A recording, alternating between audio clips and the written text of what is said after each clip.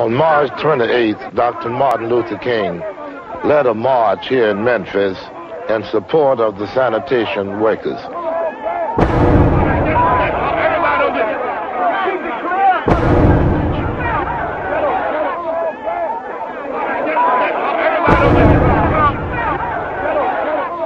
The issue is the refusal of Memphis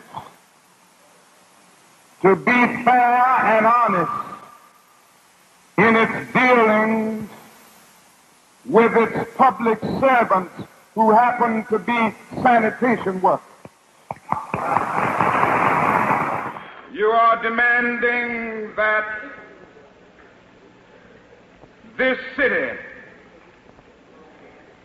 will respect the dignity of labor.